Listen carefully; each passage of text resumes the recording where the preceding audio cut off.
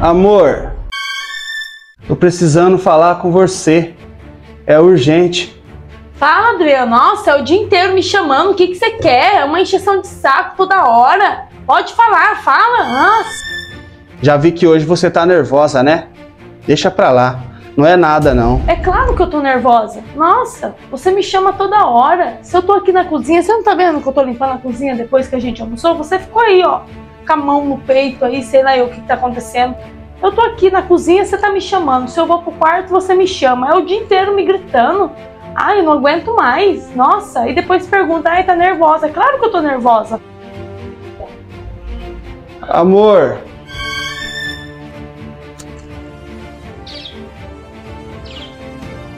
O que foi agora, Adriano? Fala, o que, que você quer, Adriano? Luciene, já faz um tempo que eu tô com uma dor estranha no estômago.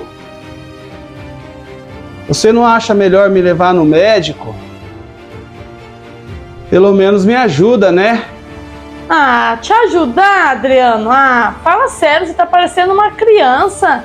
Ah, toma um remédio aí, vai deitar um pouco, dorme. Ah, você não tá vendo que eu tô limpando a casa? Ah, pelo amor de Deus, hein? Homem é mole, hein? Ai. Tá bom então, Luciene. Vou tomar um remédio aqui e vou deitar pra ver se passa. Eu tô com muita dor. Isso, isso mesmo, Adriano. Toma um remedinho, deita e dorme pra ver se melhora essa dor que você tá dizendo que você tá sentindo, né? Mas antes disso, você levanta daí, vai pegar seu remédio, tá?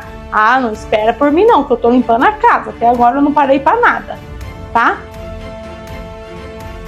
Ai, Adriano, quantas vezes eu vou falar pra você que roupa suja? Adriano?